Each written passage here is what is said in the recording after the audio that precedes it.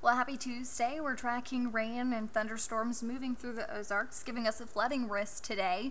This all thanks to a low level jet kicking up some storms off to our west that are now diving through the Ozarks this afternoon.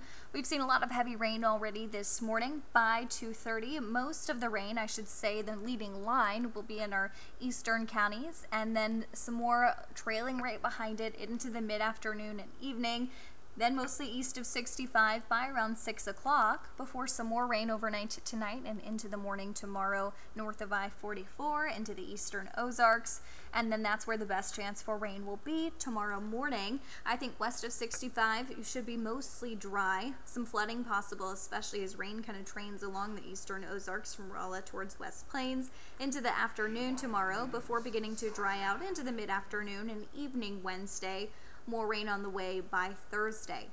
Temperature wise, warmer tomorrow, especially the further west you go. We should be in the 90s with some scattered rain in the eastern Ozarks, more rain Thursday, and then finally a front passes by Friday, not cooling us down too much, but kind of a bit of a drier air mass moving in, so it won't be as hot and humid, and another low rain chance Saturday night into Sunday.